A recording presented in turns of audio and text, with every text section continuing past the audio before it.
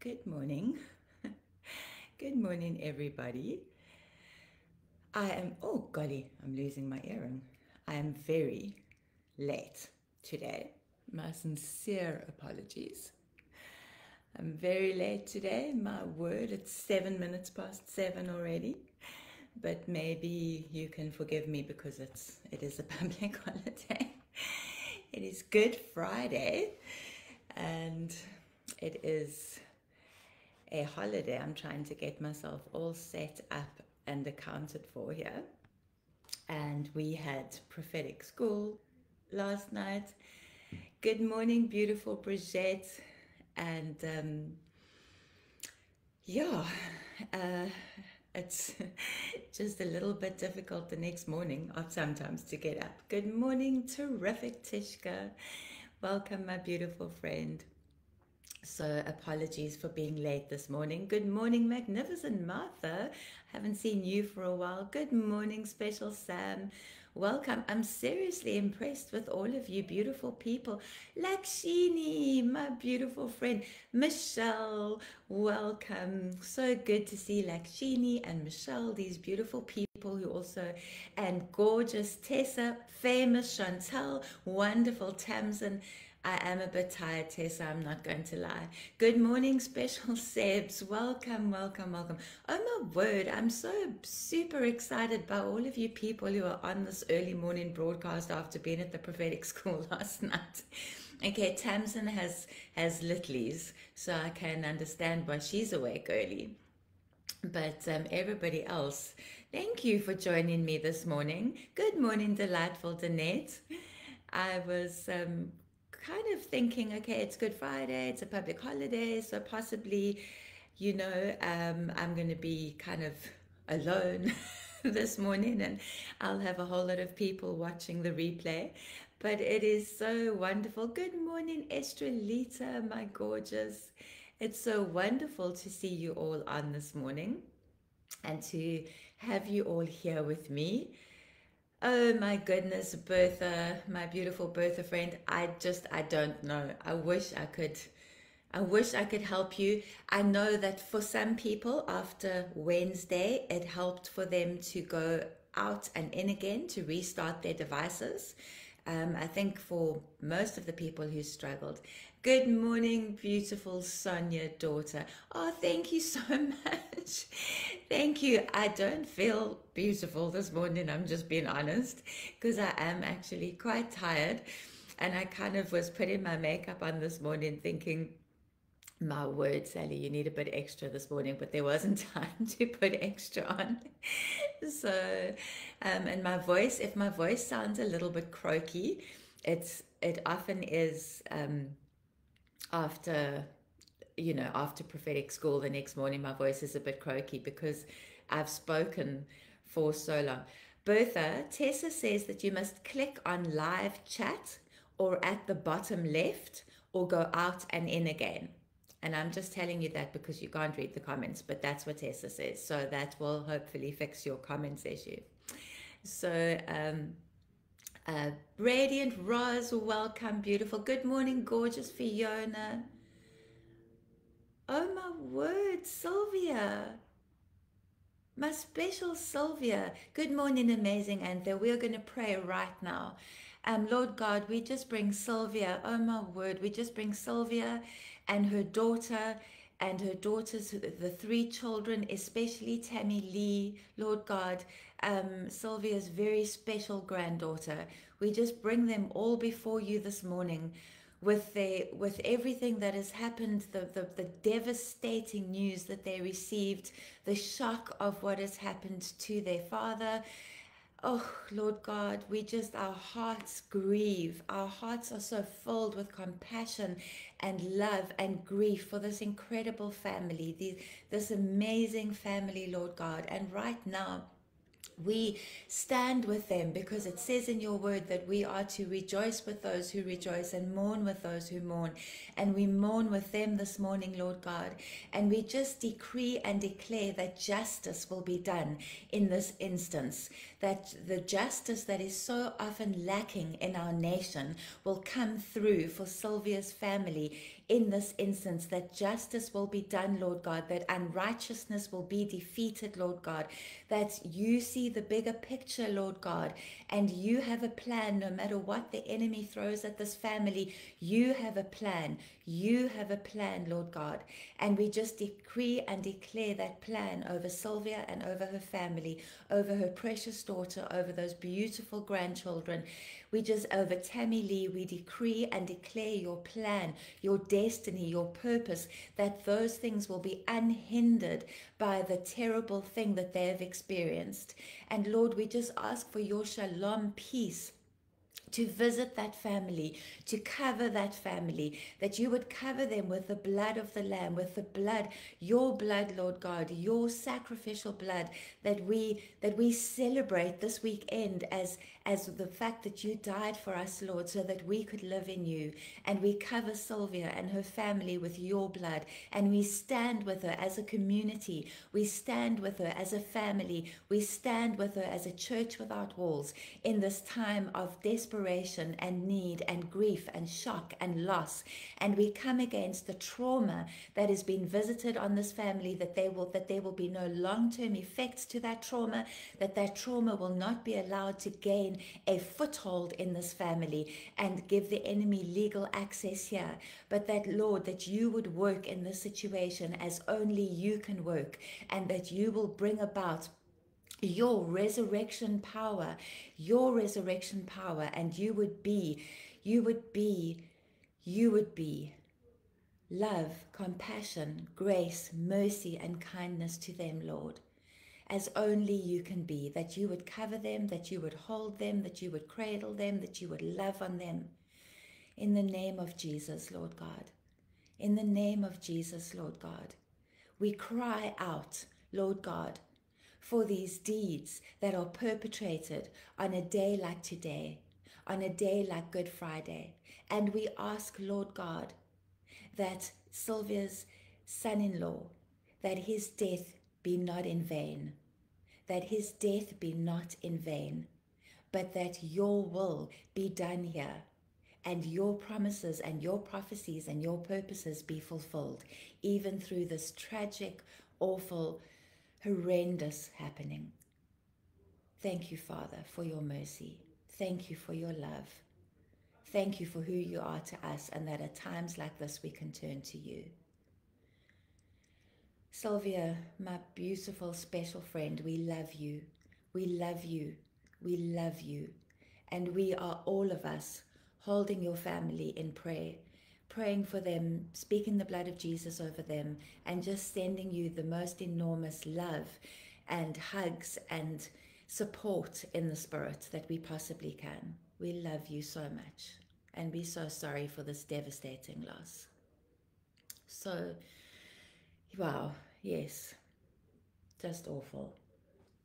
It's like you don't actually know what to say. But welcome to everybody else who has come onto the live this morning since since I was praying for Sylvia. Good morning, Radiant Renee. Apologies if I didn't have an opportunity to greet you. I um I was just praying for my special friend and just yeah, just needed to needed to to do that to be a part of her grief and her sorrow because we share in each other's joy and rejoicing and we share in each other's grief and each other's sorrow. Good morning, magnificent Marta. And wow, yeah, so I am just finding my space in my Bible for what we are going to be speaking about today. And I need some water. There we go. Mm. Not very much water. Good morning, Radiant Renee. Good morning, Nadine. It's so lovely to have you on the live, my friend. Welcome, welcome. Lovely to see you. I am really good morning, gorgeous curl. I hope you're noticing the earrings. my gorgeous curl friend gave me these earrings. So there we go. Um, I hope everybody is admiring my beautiful earrings because I absolutely love them. And um, I'm so, so happy to have them. And Good morning, Louise. Lovely Louise. Good Friday must be almost over in New Zealand. So, um, I was going to say something now. Oh, yes, my um, I'm glad you noticed. My beautiful friend Ev- Evren, who sometimes she normally watches the replays, she gave me some advice about drinking um, for my voice because my voice doesn't always last for the live. She gave me advice about drinking honey um, in warm water or something to the night, like before I go to bed after the prophetic school, and then my voice will be fine the next morning. And um, I didn't, I didn't try that last night. I was, I was too tired to try that last night. But gorgeous Chantal gave me some beautiful raw honey and so I will definitely be using that in the morning. Yes, um, for those of you ladies who um, attended the prophetic school last night, it was glorious. It was absolutely glorious. It was just, yeah, it was just wonderful, just just wonderful how God moved, how the Spirit moved, how it, was just absolutely amazing. So we were so blessed. We were so spoilt by the Lord last night. We were really so spoilt by the Lord last night. It was such a significant evening, so specific to the people that were there, and just amazing. Good morning, wonderful Volna. Yes, thank you, Anthea. I love my nails. My nails, my earrings, you know. It's I I can be a real princess if I choose to be, which is what my name means, so that's all good. But anyway, so ladies and gentlemen, good morning, Conrad. I saw your name pop up, but didn't have a chance to greet you, but have to greet the one man who has no issue, apart from Stuart, with showing his face on my lives. Welcome, welcome. So, we have been speaking this week about Passion Week or Holy Week, the week leading up to Good Morning, beautiful Brenda friend. Welcome, my darling. Um, we have been speaking about Passion Week or Holy Week, which is the week leading up to the weekend where Jesus was crucified, where we commemorate and to a degree celebrate the crucifixion and the resurrection of our Lord. And I, whenever I say celebrate, it kind of catches me, and I think, oh, it seems sounds terrible to celebrate his crucifixion, which was absolutely horrendously awful. But at the same time, you know, even Jesus went to the cross for the joy set before him, and we do celebrate it because of what the price that he paid for us and because of what he did for us. So we do we do celebrate that. There is a celebration aspect to that even while we mourn what he had to go through to pay that price. And my beautiful Brenda friend, if you ever want to just pop in with Hills, you are welcome. so, yes, Melanie's name is spelled very uniquely. I have to be sure that I spell it correctly when I chat about Melanie. So, not that sounds wrong, Melanie. That sounds like I'm talking about you behind your back. I don't mean that at all.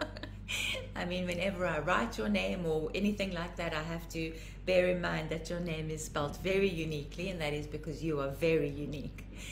So I heard somebody speaking the other day. It was some random person. I don't know who he was but he was saying uh, something about that, you know, he doesn't understand why we call this Holy Week. Uh, because it's no the week is no more holy than any other week um, even though you know it's the death and the resurrection in our calendar today in 2024 the week isn't holy and i just thought I must say, I was a little bit just irritated because I just thought we're not saying, nobody's saying that this week is holy, you know, that this week in 2024 is holy. Nobody's saying that. You know, what we're saying is that that week, that week that led up to the death and the resurrection of our Savior, that was a holy week. And we commemorate that holy week in our week here in 2024. But nobody is saying that, you know, that this particular week in April 2024 is a holy week. It's it, it isn't any more holy, you know, in its in the way that it is than any other week, absolutely. But we're not saying that this week is holy. We're saying that we are commemorating the Holy Week or the Passion Week that took place in the days that Jesus that led Jesus to the cross. And it's, I mean, and I feel as though, and I know that a lot of these commemorations, and I know that people have an enormous issue with Easter, and I, I generally try not to call it Easter, um, because Easter has nothing to do with with the death and the resurrection of our Savior.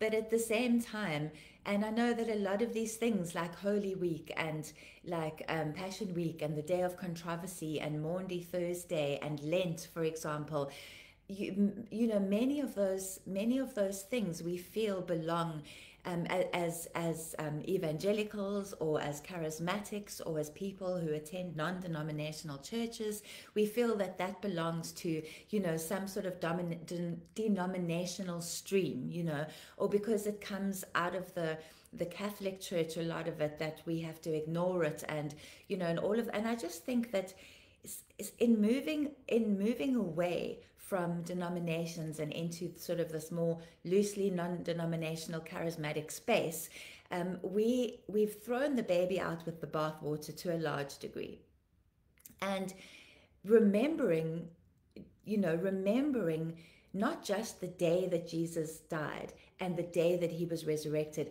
but everything that he did that week before he went to the cross was incredibly significant. And if we are going to honor the price that Jesus paid for us, then we need to honor all that he did and all that he spoke about and all that he went through leading up to that sacrifice that he made on the cross because because he did everything he did in that week knowing what was coming. Knowing what was coming. I don't know about you but i tend to be the kind of person that if I know something is coming, especially something really difficult or something, you know, like, you know, like a, um, a very significant doctor's appointment or, um, or I have to go for blood tests or I have to go for scans or, you know, that sort of thing. If I know that that's coming up, often for a few days before that, I almost can't do anything because you know that kind of consumes my thoughts actually. You know because i'm dreading it and you know or I'm, I'm a little bit concerned about it or and it kind of becomes this big thing in my brain. And then i sort of struggle to actually just go through my normal week and, and all i want to do is just go and get it over with because so that life can carry on. And good morning nolitando. Welcome. Welcome my friend. Good to see you and and you know that's me okay and that's me in my flesh and as a human being but but you can just imagine that jesus knew jesus knew what was coming he knew what he was going to have to do. And yet he spent that whole entire week, apart from the Wednesday, where the biblical text doesn't tell us what he did on the Wednesday. And so scholars assume that he rested with his disciples and, you know, taught them more, etc. But we we forget that everything that he did in that week leading up to his crucifixion he did knowing what was coming. And yet he and yet he did so many significant things. He shared so many significant things. He dealt with so many significant things and I think instead of throwing the baby out with the bathwater and saying, you know, this all belongs to old denominational stuff and we don't do that anymore, um, I think we need to look at things and be like, what is worth honoring and following? And I don't you know i don't prescribe to anybody what you should or shouldn't do if you choose to to acknowledge and participate in lent for example absolutely if that's what how you feel that you honor god and and you feel convicted by the holy spirit go for it. Absolutely go for it. If you choose to you know fully celebrate passover which is towards the end of april if you choose to fully celebrate that the, the way that jewish people celebrate passover absolutely go for it. Each one of us needs to do what we are convicted by the holy spirit to do.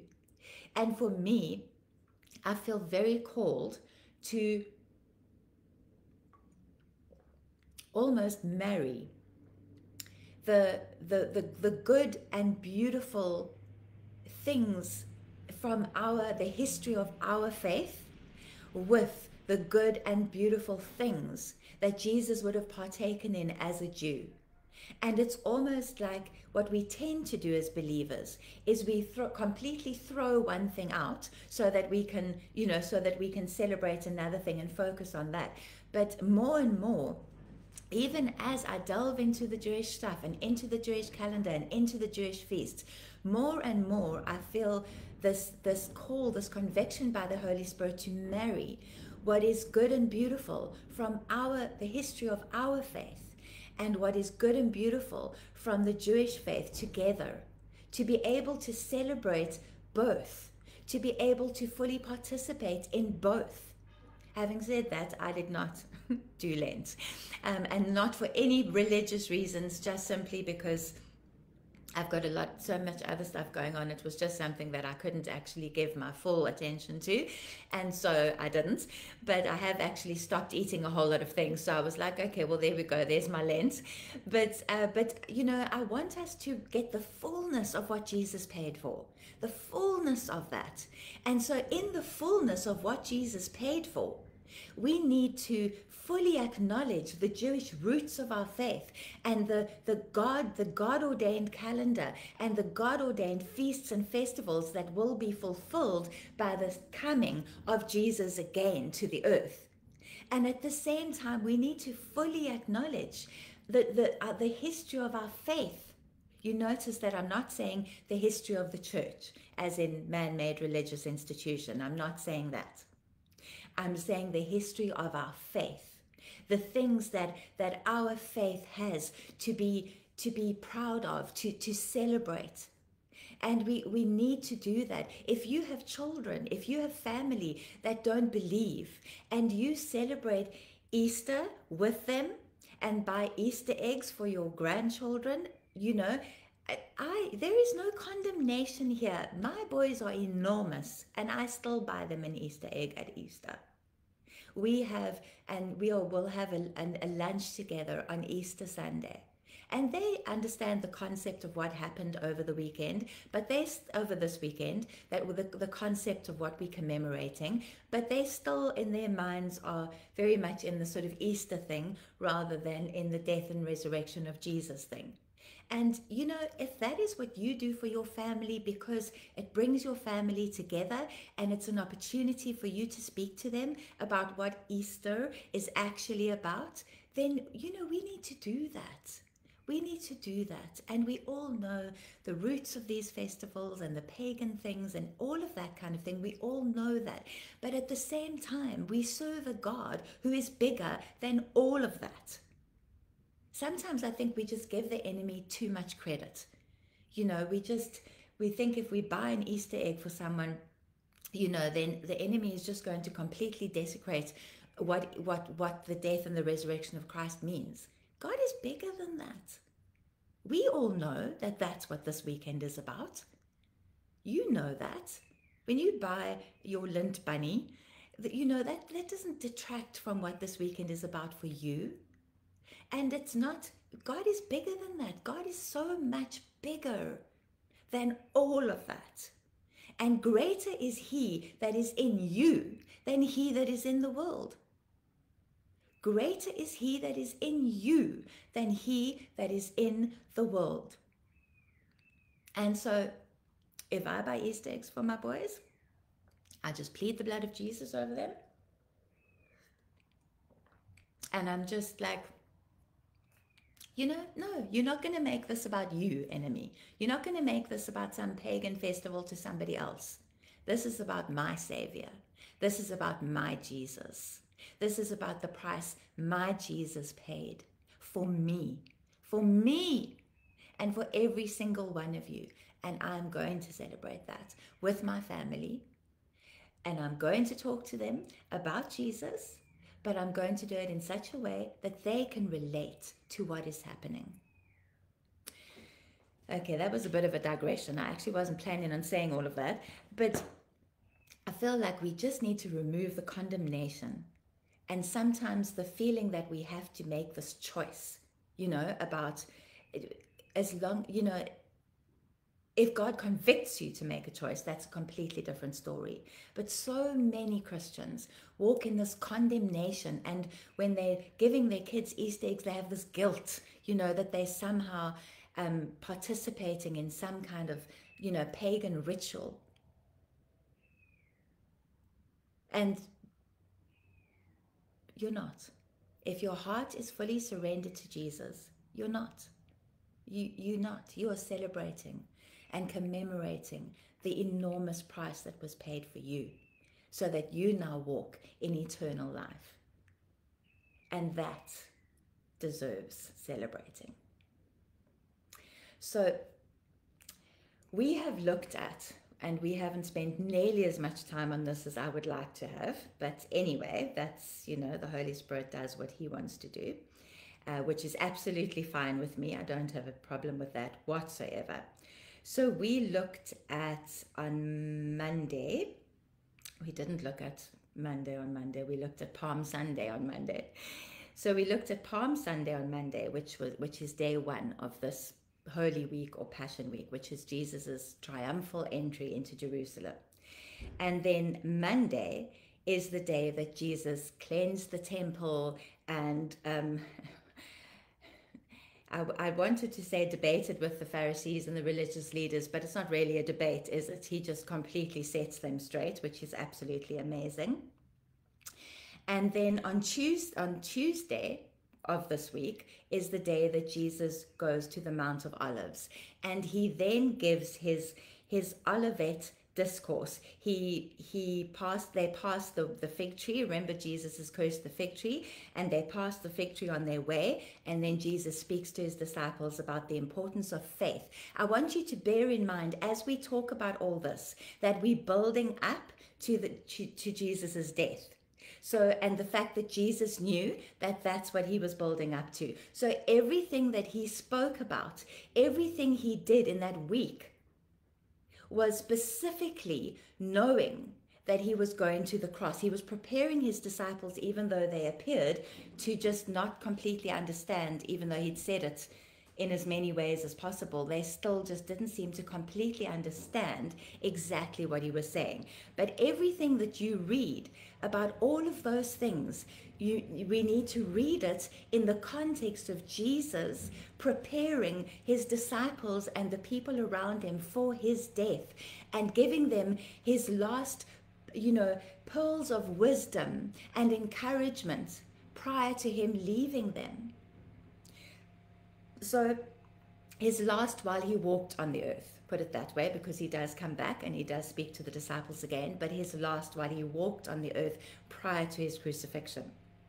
So he goes, they go to the Mount of Olives, and he then gives his his Olivet discourse, where he speaks, you know, in parables and he uses symbolic language and he speaks about the end times events and he speaks about his second coming and the final judgment. And scripture tells us that this same Tuesday, when Jesus is giving his Olivet discourse, Judas Iscariot was negotiating with the Sanhedrin to betray Jesus. And that's in Matthew 26. And so, you know, so Jesus then speaks for the whole day. This Olivet discourse took up most of the day. And he then goes, um, he then they then go back to, and that is because we're in Luke, um, so it's Luke 20, verse 1 to 21, verse 36. Um, and then and then and then we have what what the tr- more traditional um, denominations call Holy Wednesday, which is nobody the bible doesn't tell us what jesus did there.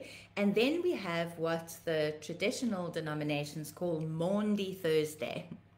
Maundy thursday. And that is when jesus now remember i've spoken on this before there is disagreement as there is with most dates in the bible there is disagreement um, amongst scholars and theologians about exactly when Jesus partook of the Passover supper and exactly how the events you know rolled out and exactly you know there, there is disagreement around exact calendar dates and days and things like that. Um, and I'm not going to go into all of that now because we, we don't know exactly that. You know, people people cleverer than me and with more knowledge than me have delved into and figured out dates. But but even those very clever people um, don't all agree on exact timings and exact dates even using the biblical text as a reference. As far as I'm concerned, we don't have the right dates anyway necessarily. We don't know for sure, and so we we we we just we celebrate we, let's not get hung up on exact dates necessarily. I've said before, our calendar and the Hebrew calendar.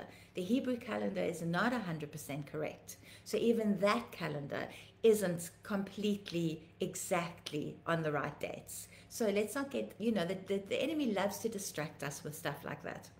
So Maundy Thursday uh, Jesus sends uh, Peter, we're just going to go with it's, it being Thursday, is what I'm saying. You know, he, he goes and he sends the disciples to get a room, and they do, and that is what I want to look at here in um, Luke chapter, Luke chapter 22.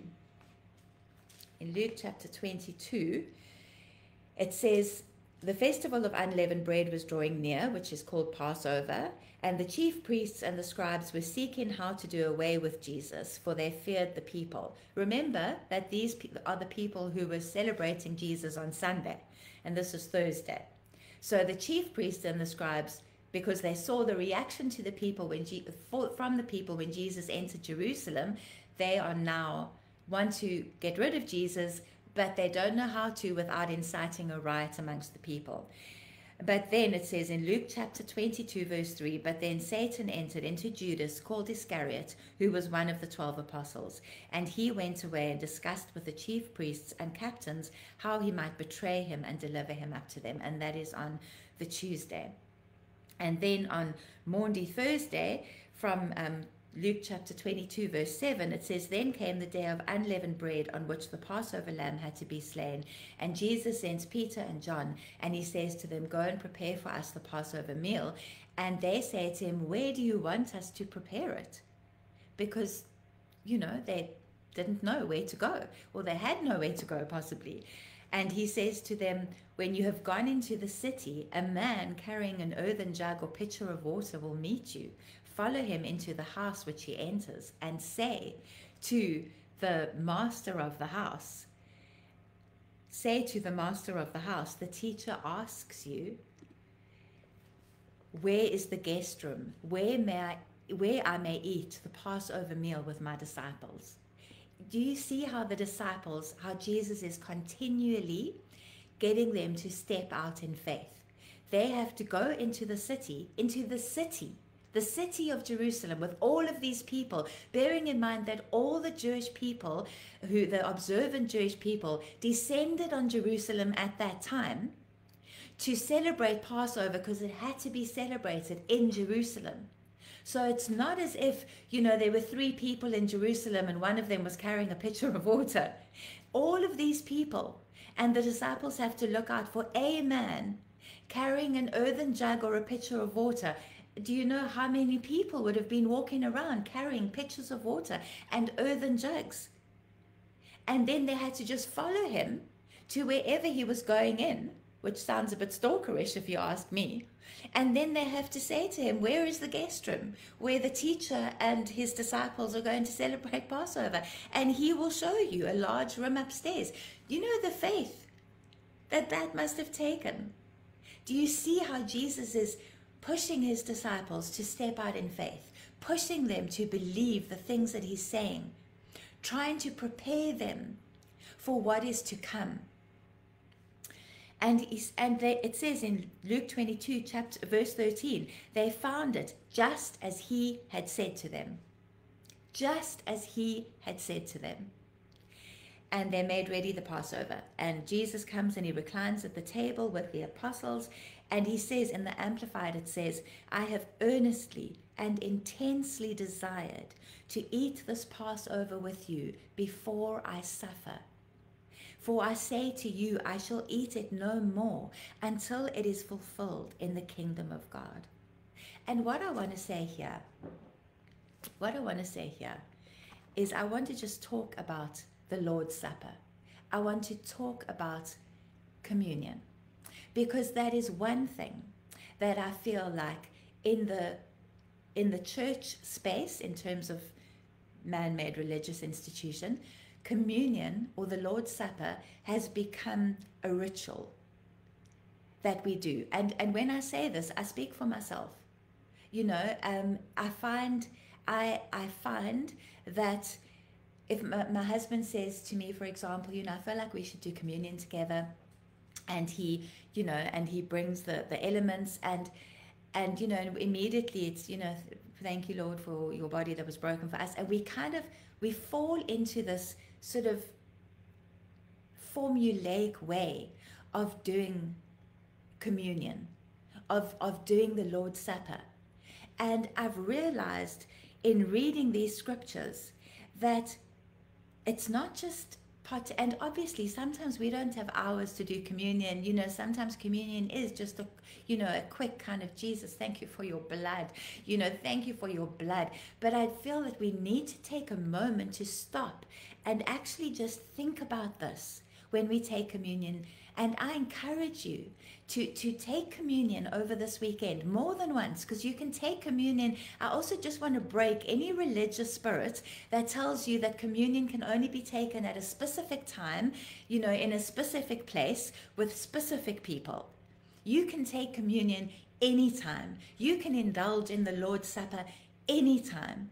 You can commune with the elements, the body and the blood of Jesus anytime by yourself, with others, in your home, in somebody else's home, at church. There is no, there is no law, godly law, that says you can only take it one specific time. In Acts, it talks about the, um, I think it's in Acts, um, it talks about the church coming together and the first day that they met, they partook in the Lord's Supper together. And traditional churches took that and said that communion can only be done on Sundays. But that is not the truth. It just so happened that that's how they did it then because they happened to get together on a Sunday. But that they weren't laying down any law. Paul didn't say going forward from that, from now on, the Lord's Supper can only be partaken of on a Sunday. But I want you to take communion this weekend as many times as you feel led and pay careful attention to this. And, he, and so Luke chapter 22, verse 17, and Jesus, he took a cup. And when we come to Passover, I'll do a teaching on the four cups of Passover because this is what they were doing. They were doing the Passover meal. And the Passover meal comes with four different cups, which mean four different things. And I'll do a teaching on that when we get closer to Passover. But but he took the cup. He took a cup. That's why it says he took a cup, because there were four different cups. And when he had given thanks, so he took the cup, he gave thanks. And he said, Take this and divide and distribute it among yourselves. And then listen to this. For I say to you that from now on, from that moment, I shall not drink of the fruit of the vine at all until the kingdom of God comes. I shall not drink of the fruit of the vine at all until the kingdom of God comes. I mean, you could spend an hour just on that just on that. Then he took a loaf of bread, and when he had given thanks, he broke it and gave it to them, saying, This is my body, which is given for you. Do this in remembrance of me. And he didn't say, Do this in remembrance of me only on a Sunday or only on special occasions. He said, Do this in remembrance of me. And actually, every time you have a meal with, with fellow believers, with your family. You are breaking bread.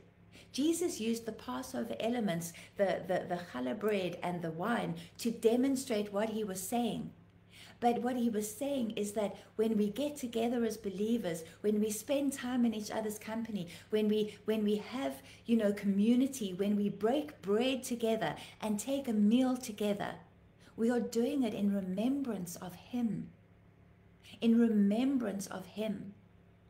And he says, and in like manner he took the cup after supper, saying, This cup is the New Testament or covenant ratified in my blood. The Amplified adds that word, ratified.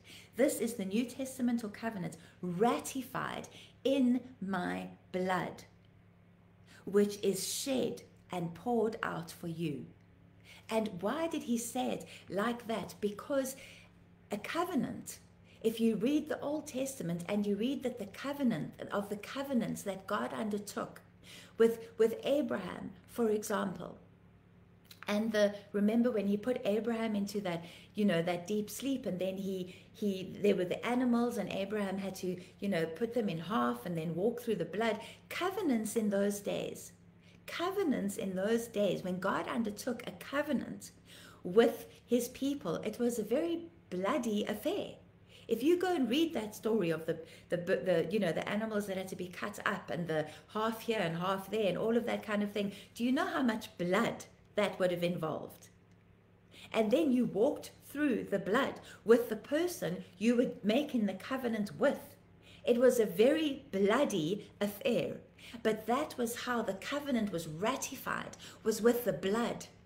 That was why there was this sacrificial system for the Jewish people because it was the blood of the animals that that was that, they were sacrificed to cover them. The covenant had to be ratified in blood.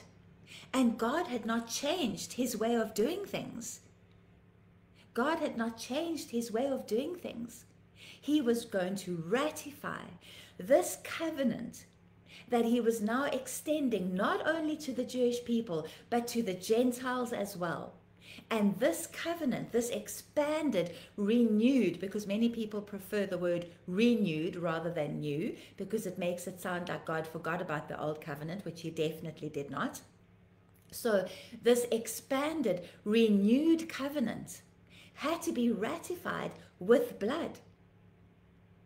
And so it was ratified with the blood of Jesus. And every time you participate in the Lord's Supper or communion, you are saying to the enemy, My covenant with God is ratified in the blood of my Savior. You cannot come against this covenant because it is ratified in the blood of my Savior. It is done and dusted. That is what Jesus was saying. That is what he was saying. So we give thanks. He tells us to give thanks for his body, which he gave up for us. And then he tells us that the covenant is ratified in his blood that has been poured out for us just amazing. It's just amazing. And then he, you know, it, he explains that Judas is going to betray him, and he goes down and he talks to, uh, and in Luke chapter 22, verse 28, he said, You are those who have remained throughout and persevered with me in my trials. And as my Father has appointed a kingdom and conferred it on me, so do I confer on you the privilege and decree that you may eat and drink at my table in my kingdom and sit on thrones, judging the 12 tribes of Israel. And he was speaking to the disciples, but we get to sit at his table and sit in his kingdom at his table both now because we are seated in heavenly places and in eternity because of what he did for us. I think so often we we tend to we tend to see the crucifixion as Jesus' death for the forgiveness of our sins. And absolutely, but that's not all there was to Jesus' death. Jesus' death ensures us a seat at his table in his kingdom. It ensured the, the, the release of the Holy Spirit. It ensured our ability to be able to be seated in heavenly places with Him. Jesus died for so much more than we give Him credit for sometimes. The forgiveness of sins, obviously, an enormous thing. But so much more than that. That's just the beginning. Salvation, the forgiveness of sins, is just the beginning. There's a whole kingdom that is still there to be participated in and appropriated for ourselves. And then, of course, you know, he tells Peter what Peter will do. And he speaks, and you can read through all of this. I, I don't have time to go, go to all of this. And then he, they go to the Garden of Gethsemane. And I mean, he has told them all of this, he has explained it all to them a million times. And still, when they go to the Garden of Gethsemane, the disciples cannot stay awake and pray. They cannot stay awake and pray. And so often, when I read the story about the Garden of Gethsemane, and I think about, and I think about, wow, wow, sorry, I just had this revelation from the Holy Spirit. Radiant Roz, my beautiful Radiant Roz friend, gave me a calendar last night. And on the calendar, it says, It's time to return to the garden with me, I think. It is time to return to the garden with me. And I think often when we think garden, we, we think Eden. And just now, as I said that, I felt the Holy Spirit say to the Garden of Gethsemane, It's time to return to the Garden of Gethsemane and do what the disciples were unable to do, but to be those who stay awake and pray and intercede and ensure that Jesus gets his full reward.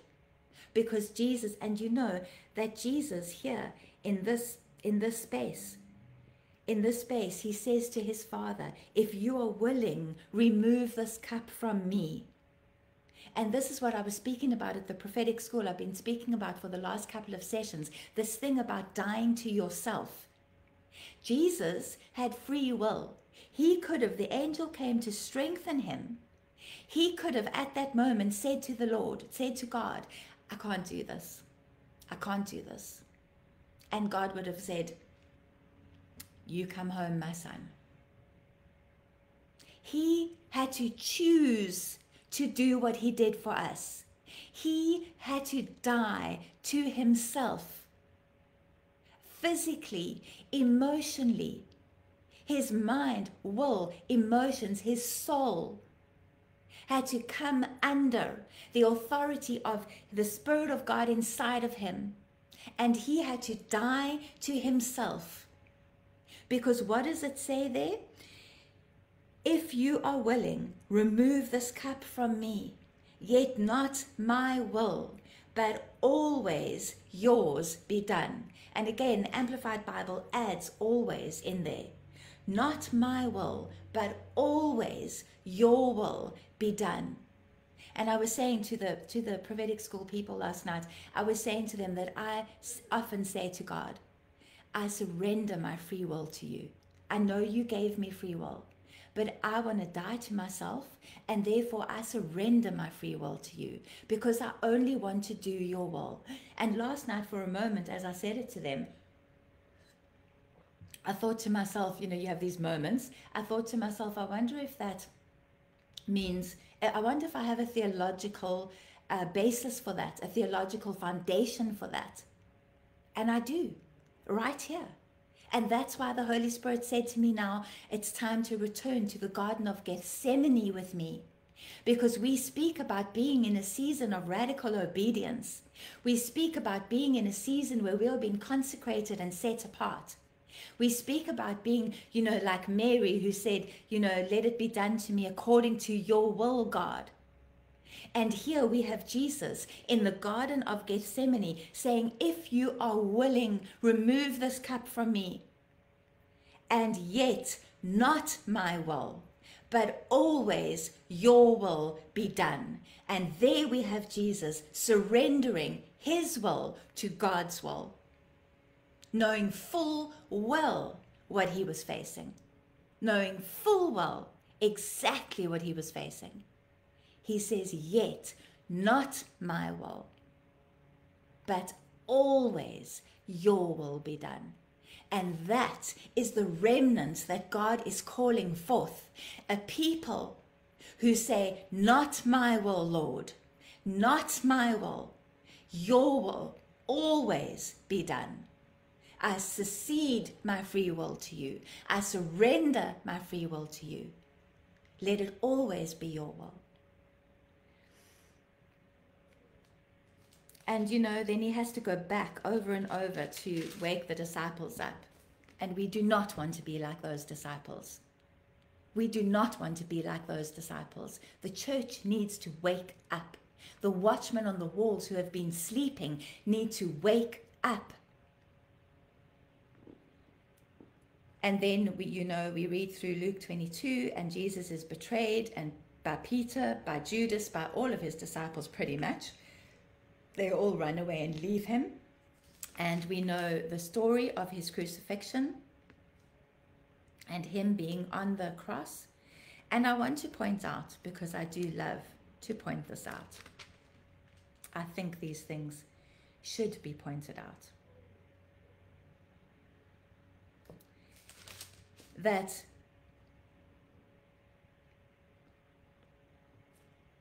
at the foot of the cross, it tells us in the Gospels, in the various Gospels that you read, that at the foot of the cross were three women and John. All the disciples, in, three women, including the mother of Jesus, all the disciples, apart from John, had deserted Jesus, ran away. They were hiding. They had betrayed him. They had not stood by him in his hour of need. All the disciples, except for those women. And I want to say this to you every woman here. It was women who stood at the foot of the cross and witnessed the death of Jesus.